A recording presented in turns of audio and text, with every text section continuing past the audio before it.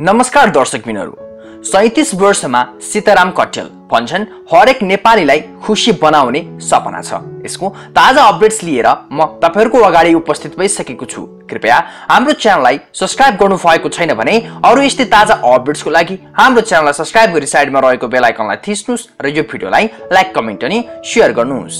हास्य कलाकार तथा सामाजिक अभियन्ता सीताराम कट्टेल आजबाट सैतिस वर्षमा प्रवेश गरेका छन्।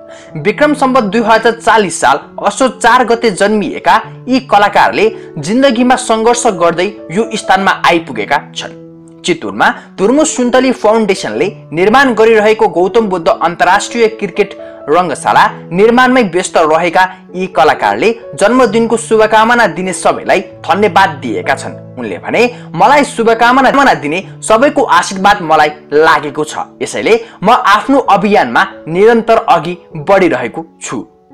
सीताराम आफ्नो सपना भनेको हरेक नेपालीलाई खुसी बनाउनु रहेको सुनाए। भने जनस्तरबाट नै निर्माण भइरहेको क्रिकेट रङ्गशाला निर्माण गरेर सबै नेपालीलाई खुसी बनाउने एउटा सपना मेरो रहेको छ। यो सपना पुरा हुने दिनको प्रतीक्षामा हामीले मेहनत गरिरहेका छौँ।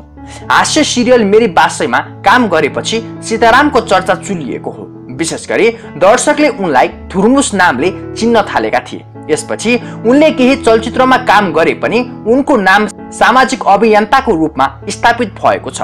एकीकृत नमुना बस्ती निर्माणदेखि समस्यामा परेकाहरूलाई सहयोग गर्नमा सीताराम सधैँ अग्रसर छन्। नेपाली हास्य क्षेत्रका एक चर्चित कलाकार तथा सामाजिक अभियन्ता सीतारामलाई जन्मदिनको धेरै धेरै शुभकामना।